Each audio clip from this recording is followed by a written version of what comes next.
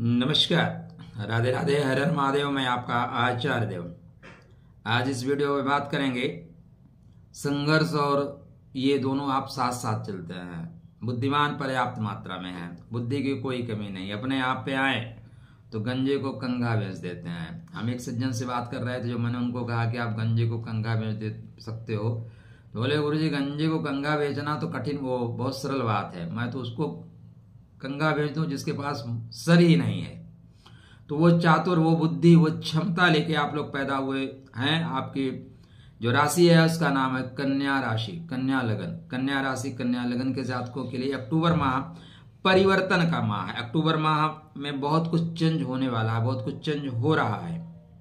अब इस परिवर्तन के साथ आप कितना तदात बैठा लेते हैं, कितना तालमेल बैठा के चलते हैं, यही आपके विकास की गति को निर्धारित करेगा। परिवर्तन जो हो रहा है, वो आप देखें तो चार चार ग्रह एक्सचेंज कर रहे हैं। कौन सा? राशि परिवर्तन नहीं। आप लोग ज़्यादातर राशि परिवर्तन ही सुने हैं। क्योंकि आपकी उसमें कोई त्रुटि नहीं है, मित्र। त्रुटि तो हमारी है। हमारे जैसे लोग जो बैठे हैं यूट्यूब पे, जो वो सुना रहे हैं, वही तो आप सुन रहे हैं। हम जो आपको बता रहे हैं, वही तो आप सुन रहे हैं ना? इसलिए आप सदैव नक्षत्र परिवर्तन की बात ना करके राशि परिवर्तन पे ज़्यादा फोकस करते हैं। तो चार ग्रह नक्षत्र परिवर्तन कर रहे हैं। गुरु मंगल के घर में, मंगल गुरु के घर में। या अट्ठाईस सॉरी अट्ठाईस अक्टूबर तक चलेगा। और दूसरा परिवर्तन है तीन अक्टूबर से शनि। राहु के नक्षत्र में और राहु शनि के नक्षत्र में यथावत चल रहे हैं। यह 27 दिसंबर तक चलेगा, लगभग तीन महीने 86 85 डेज़ यहाँ पे जो ये नक्षत्र एक्सचेंज योग है, क्या परिवर्तन लाएगा आपके जीवन में? कहाँ कहाँ परिवर्तन देगा? चर्चा का केंद्र बिंदु यही होगा। पहले, अभी तक आपने चैनल को सब्सक्राइब नहीं किया, कृपया सब्सक्राइब अवश्य करें, क्योंकि इतना डिटेल में वीडियो शायद अन्यत्र शायद ही आपको मिले। ऐसा नहीं कि मैं अकेला काम कर रहा हूँ, बहुत लोग काम कर रहे हैं, लेकिन मेरा उद्देश्य थोड़ा डिफरेंट है। मैं चाहता हूँ कि ज्योतिष के मूल भूत तत्वों को आप जानते हुए चलें, जिससे छोटी छोटी सहायता के लिए किसी एस्ट्रोलॉजर के पास आपको ना जाना पड़े और आपको हज़ार पंद्रह सौ की फ़ीस या कुछ एस्ट्रोलॉजर तो पंद्रह पंद्रह हज़ार लेते हैं, उनको फ़ीस ना देना पड़े। तो ज्ञान मुक्ति का प्रथम द्वार है। जान लेना, समझ लेना, मुक्त हो जाना है। तो आप कन्या लगन के हैं, ज्ञानी लोग हैं। समझिए, जानिए, परिस्थितियों के अनुसार अपने आप को ढाल लीजिए, ठीक? और चैनल को अवश्य सब्सक्राइब कर लीजिए। मंगल और गुरु, आपस में एक्सचेंज कर रहे हैं। पहले हम बात करेंगे 28 अक्टूबर तक यह गोचरी स्थिति है। शनि राहु की जो परिवर्तन युति है वो 27 दिसंबर तक है, लंबे समय तक के लिए। मंगल आपके बर्थ चार्ट पे खस्टे अष्टमेश हैं।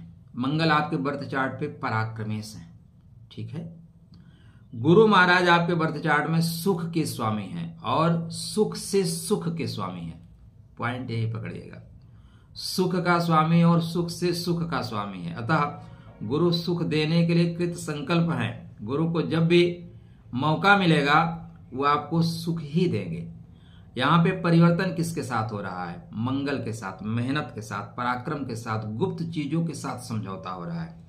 कभी कभी सुरक्षा के लिए या समृद्धि के लिए गुप्त तरीकों से समझौता भी करना पड़ता है। तो यहाँ पे आपके जो ग्रह गोचर है, वो गुप्त तरीके से समझौता कर रहे हैं। क्योंकि मंगल अष्टमेश है, इस चीज़ को कभी मत भूलिएगा। मंगल महाराज चल कहाँ रहे हैं आपके बर्थ चार्ट पे? तो मंगल महाराज भाई कर्मा भाव में चल रहे हैं। इसके बाद लाभ के घर में जाएँगे। किसके नक्षत्र में चल रहे हैं? पुनर्वसु नक्षत्र में चल रहे हैं। पुनर्वसु क्या है? वशत्व प्रपन्ना शक्ति लेकर चलता है, फिर से काम करेंगे। हम संघर्ष कर रहे थे, संघर्ष में सफलता नहीं मिली, कोई बात नहीं। पुनः हम प्रयास करेंगे और इस नक्षत्र की एक खास बात है यह नक्षत्र एक बार में काम को खत्म नहीं करता, लेकिन दुनिया का ऐसा कोई काम नहीं है जो इस नक्षत्र में आप आरंभ करिए, वो खत्म ना हो। ये भी खास बात है। मतलब एक बार में तो नहीं होगा। लेकिन अच्छा क्या है, आप स्टार्ट करोगे तो फिनिश ही होगा। बढ़िया चीज़ है। गुरु महाराज मंगल के मृग सिरा नक्षत्र में चल रहे हैं। मृग सिरा कस्तूरी, कुंडल बसे, मृग ढूंढ ही बनवाई, ऐसे घटघट राम है, दुनिया देख ही ना कस्तूरी प्राप्त करने का नक्षत्र है, लेकिन मृग सिरा चंचलता का नक्षत्र है। और दोनों एक एक घर आगे पीछे चल रहे हैं। गुरु महाराज भाग्य के घर में हैं और मंगल महाराज कर्म के घर में। दोनों के बीच में जो दूरी है, वो सिर्फ़ आर्द्रा की है। किसकी? आर्द्रा की। आर्द्रा, राहु का नक्षत्र है, टफ नक्षत्र है। तो इस टफ नक्षत्र के बीच में आर्द्रा नामक जो नदी है, उसके बीच में पुल बनाने के लिए गुरु मंगल ने एक्सचेंज किया है। ऐसा आप कह लीजिए। या परिवर्तन राजयोग आपको सुख देगा, या परिवर्तन राजयोग व्यापार में गति देगा, या परिवर्तन राजयोग आपके घर में कोई बीमार है, उसको ठीक करने के लिए। क्योंकि मृगशिरा जो है ना, मंगल का नक्षत्र है शल्य क्रिया करना जानता है शल्य चिकित्सा का नक्षत्र है तो यहाँ पे चीज़ें ठीक करेगा। क्या त्रुटि होगी? त्रुटि होगी कि थोड़ी चंचलता बढ़ेगी, थोड़ी एकाग्रता में कमी आएगी, क्योंकि मंगल सुख के स्वामी है, सुख के लिए थोड़ा सा दृष्टि दोष आएगा। हर सुंदर चीज़ें आपको अच्छी लगेंगी। और सबके पीछे भागना दुख का कारण बनता है। तो सबके पीछे मत भागिएगा। राहु और शनि। शनिदेव आपके बर्थ चार्ट पे पंचमेश हैं और खष्टेश हैं। खष्टम भाव का स्वामी खष्टम भाव में ही स्वग्रही है और राहु के नक्षत्र में है। राहु महाराज वर्तमान में सप्तम भाव में चल रहे हैं। सातवां घर व्यापार का घर होता है। अतः राहु महाराज आपके व्यापार में गति प्रदान करने की कोशिश करेंगे। शनिदेव, आपके जो यत्र तत्र सर्वत्र शत्रु उपस्थित हुए हैं, उन शत्रुओं को बोलेंगे, भाई, आप सो जाओ। अब जाओ। तो शनि महाराज आपके ऋण रोग परेशानी शत्रु हंता योग में जाएँगे। राहु महाराज, चूँकि आपके दाम्पत्य जीवन में जो क्लेश हो रहा था, उसके, उससे खत्म करेंगे। उसे बोलेंगे कि आप बैठो। हम दोनों समझौता करते हैं। समझौता करते हुए आगे चल रहे हैं। दरअसल ऐसा सब कुछ शायद ना हो पाता, लेकिन होने के पीछे जो कारण है, गुरु के भाग्य के घर में गोचर करना और बुद्ध महाराज की स्थिति वर्तमान में आने वाले वक्त में सही होना। इसलिए यह जो परिवर्तन राजयोग है, आपके जीवन में सकारात्मक परिवर्तन लाने वाला है। वरना राहु और शनि का एक्सचेंज कर लेना आपके दाम्पत्य जीवन में तकलीफ़ देने वाला था। डेफिनेटली तकलीफ़ देता। आपके मैरिज लाइफ को कोर्ट तक घसीट देता।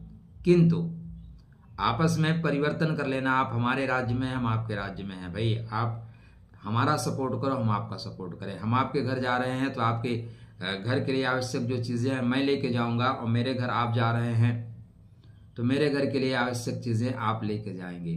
तो यह परिवर्तन राजयोग परिवर्तन का है। अगर आप चूक गए, नकारात्मक परिवर्तन हो, जागृत रहे तो यह परिवर्तन सकारात्मक परिवर्तन होगा। श्रेष्ठ फल प्राप्त करने के लिए अपने गुरु और बुद्ध को मज़बूत करके रखिए। गुरु के लिए, ओम ग्राम ग्रीम ग्राम साह गुरुवे नमः।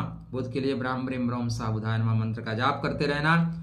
काले और लाल रंग के कपड़े का इसमें परित्याग कर दीजिए, मत पहनिए। श्रेष्ठ फल आपको मिलेगा। सबसे अच्छा उपाय, आदिशक्ति जगदम्बा की आराधना करते रहिए। राहु, शनि दोनों शांत अवस्था में रहेंगे। मंगल की एनर्जी भी ठीक रहेगी, ठीक है? और, गुरु के मंत्र का जाप करना श्रेष्ठ फल आपको देगा। तो आपका कल्याण हो अच्छा हो, बेहतर हो खुश रहिए स्वस्थ रहिए मुस्कुराते रहिए। आपके लिए राधे राधे